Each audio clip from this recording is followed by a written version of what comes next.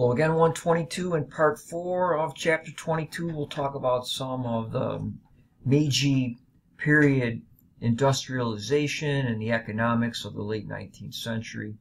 And with the end of the daimyo domains, the government needed a new system of land ownership that would transform a rural population from indentured serfs into citizens. And to do so, it enacted a land reform program that redefined the domain lands as private property of the tillers while compensating the previous owners with government bonds.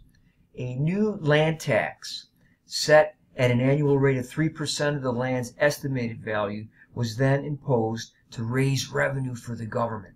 And this tax is key. It proved to be a lucrative source of income for the government and they will use this to build on an industrial economy which had already been building at the end of the Tokugawa period.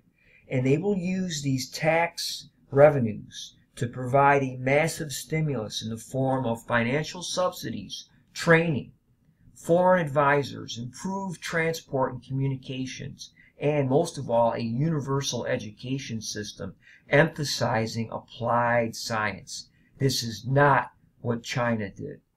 China relies very little on foreign capital to do anything because they have these tax revenues. But it is not going to be easy on the population. The workers are going to suffer, and many of those who tilled those now private pieces of land, if there is a bad crop and they don't have money to pay those taxes, Eventually, their wealthier neighbors are going to buy them out, and that's going to result in a huge landed gentry again. And many of them then will escape to the cities seeking employment, and that's going to provide this industrial sector with all kinds of cheap labor.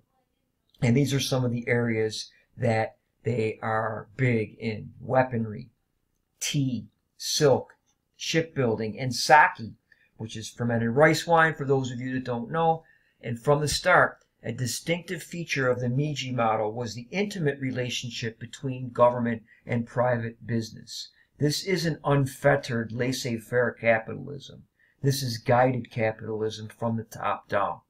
And once an individual enterprise or industry was on its feet, it was turned over entirely to private ownership. And as I mentioned, from a worker's perspective, the Meiji reforms had a less attractive side. This growth was subsidized by funds provided by the new land tax, but the tax imposed severe hardships on the peasants, many of whom fled to the cities again, and they provided an abundant source of cheap labor. The Meiji reformers destroyed much of the traditional social system. With the abolition of hereditary rights in 1871, the legal restrictions of the past were brought to an end with a single stroke. Special privileges for the aristocracy were abolished, as were the legal restrictions on the Eta, or the traditional slave class, which numbered about 400,000 people in the 1870s. Another key focus of the reformers was the army. And again, we mentioned this in part three. The Satcho, or the Satsuma, and Choshu reformers had been struck by the West in their advanced military equipment. And so the old feudal army, based on the traditional samurai warrior class, was abolished, and an imperial army based on universal conscription or the draft was formed in 1871. Education also underwent major, major changes. The Meiji leaders adopted the American model of the three-tiered system, culminating in a series of universities and specialized institutes. They also sent bright students to study abroad, and uh, one of Theodore Roosevelt's classmates at Harvard was a Japanese man who ends up becoming prominent in the military.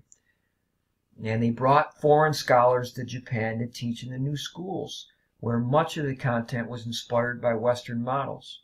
In another break with tradition, women for the first time were given an opportunity to get an education.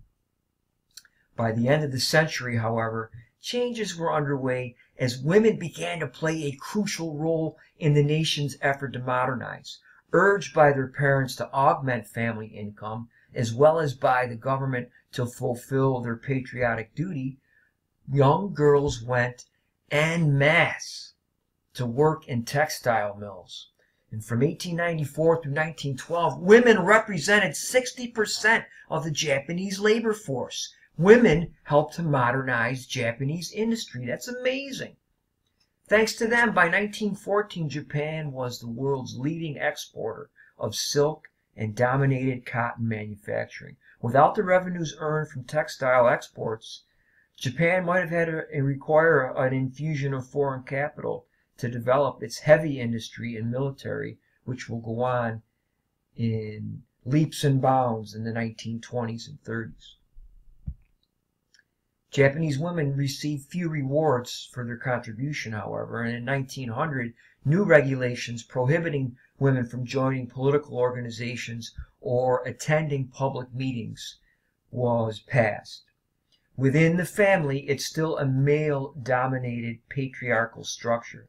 But, as just mentioned, out in society, there are more opportunities now for Japanese women. And beginning in 1905, a group of independent minded women petitioned the Japanese parliament or the Diet to rescind this restriction on being involved in political activities. Although the regulation was not repealed until 1922, calls for women's rights increasingly were heard. And on page 588 in the seventh edition, this is really brought out in full if you are interested in reading more on this particular topic. So now you have some of the foundations of the Industrial Revolution in Japan.